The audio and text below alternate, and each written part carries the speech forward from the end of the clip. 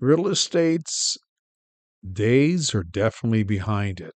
I mean, you, you just wonder when is this going to end? It's, it's a classic credit bubble, right? We have the Kuznets cycle uh, peaking here, and it's definitely going to peak in 2024. But rising interest rates just assure that the monetary wave, in conjunctive terms, just the falling price of credit that gives rise to Ponzi finance and causes asset bubbles. Now it's just reversing. You know, as Ray Dalio says quite often, which I like, is that uh, you know something is happening in our lifetimes um, that has happened in the past, and we're just going to experience uh, economic winter uh, because of an asset bubble uh, collapsing. And in this case, for Canada, it's it's real estate and it's massive bubble. You can see real estate here during the whole monetary wave, where it had these uh, you know secular rises over the past forty years and the beneficiary from that really was the falling price of credit. Now that is over, and we can see that there's been a, uh, a collapse in prices. Now, what's interesting is that the the slowdown. People would say, "Well, you know, it hasn't done much," but you got to remember, 2009 and 1991 uh, and 81, uh, we had a recession. We still don't have a recession. And when we get the recession, we're going to see the worst uh, downturn in Canada's history when it comes to real estate. I showed this. Uh, there's just also updated in the Canada Money Supply, and it's just showing that you know, in on in a sorry, in a credit-based economy, if you're not growing credit, uh, you're not going to grow the economy. And when I say credit-based, this is not bank credit uh, um, uh, made in, in terms of that most of the loans out there are between two parties. One was interested in borrowing and leveraging, the other one was interested in lending. That's where most of the money supplies come from. Central banks can't stop the reversal. I think this is what a lot of people in the hyperinflation camp misses that in a credit contraction, as asset prices fall, the consumer and the lender step back, and that causes a vicious cycle, an economic winter. Uh, you know, they can print all they want. If nobody's interested in borrowing, nobody's interested in lending, you just get a vicious cycle. And there's only one way to prevent it. Don't allow a credit bubble to get out of hand, but it's too late. It's, you know, we have a massive credit bubble that's larger than Japan's and larger than the US in the 20s and that consumer loan is going to uh, unwind because it's mostly unproductive debt. There's very little debt. Now, why I'm even more convinced, I mean, this just gets worse, right? This is the numbers today. I mean, 4.3% on the five year, most of the mortgages are. You have to go back to 2007 to see. And this is a new um, post rise in interest rates high you know, you know, pretty much the 2010s and it was just of record low interest rates, and no wonder real estate did well because the incomes aren't there, right? I mean, real estate needs uh, multiple variables, and the most important is always income. Do you have the income to support it? Support uh, mortgages, and mortgages can be facilitated by more and more from the future with long amortizations. And a 25 year plus, or anything beyond 10 years, is pretty long. And 25 years the norm, but people need to realize that that wasn't the norm uh, prior to the 1930s.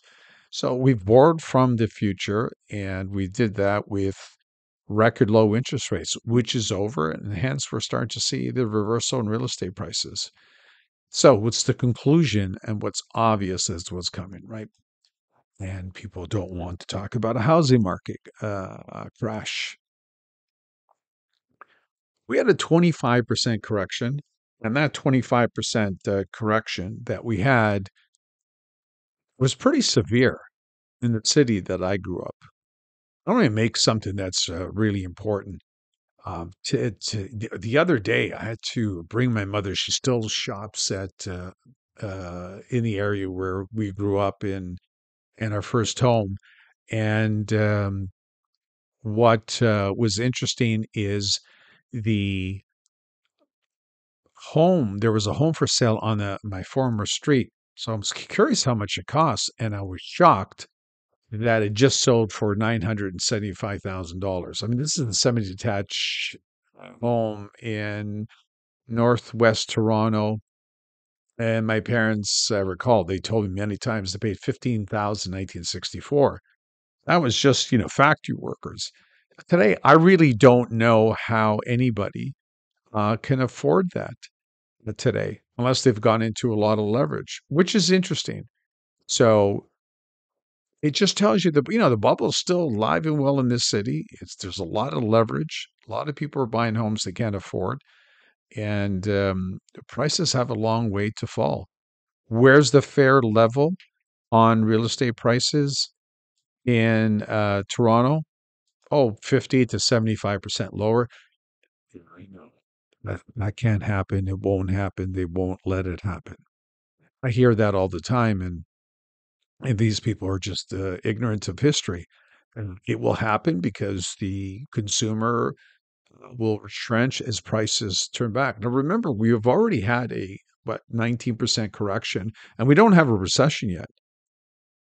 In 2009, we did. In the early 1990s, we did. In early 1980s, we had a recession. So the numbers are only going to be worse once the economy turns down into economic winter 2024 and it's really important to remember that so i it, it's is uh, you know the point of i've said many times look if you haven't deleveraged yet the leverage means getting rid of as much unproductive debt as possible you're not a company right if you own a business and you expand your business that's different but even that you should be careful of right you know, to Toyota's secret surviving the 1990 depression in uh, Japan, as uh, they called it, cash flow management.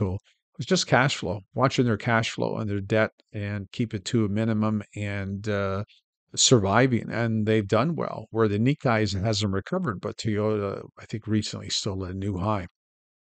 Point being is this is the most important chart. Really, this thing here is Take a look at that, the new high. We haven't seen that.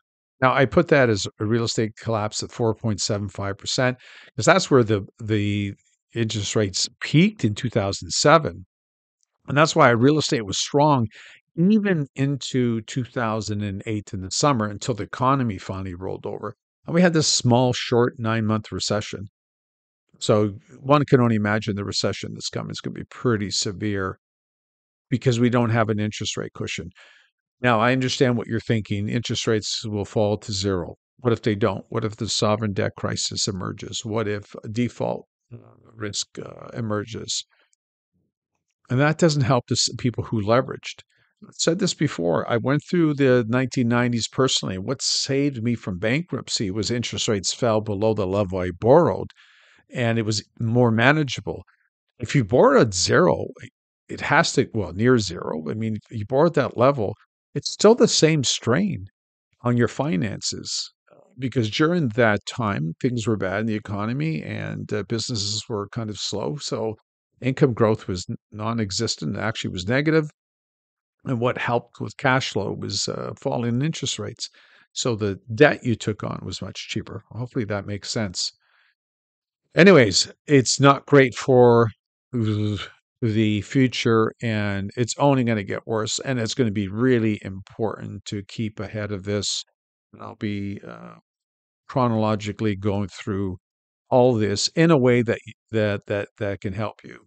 Uh, now that i've got this whole thing worked out and people seem to love the videos i can articulate the message better and i can also uh, show charts and data uh, that confirms now there's a lot of other indicators that haven't turned yet. I'm looking for those.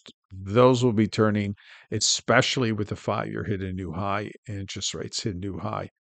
Um, that is significant. And I can only imagine. And if you're in that situation, I can relate. I've been there. So um, most people don't know how hard it is to um, pull in the reins of your spending power where more has to go on interest rate costs to just live in a home. The lesson is that we never should have financialized the Canadian economy. We did. Now we're going to have to fix that on the other side of this mess. And uh, when economic winter, I'm pretty sure, arrives next year, it lasts anywhere from 16, 18 to 21 years. It's a generation. And it's going to be very volatile, uh, a massive amount of creative destruction, massive amount, and everything from politics right down to the economy. Anyways, that's definitely in the future. And as always, we will talk soon.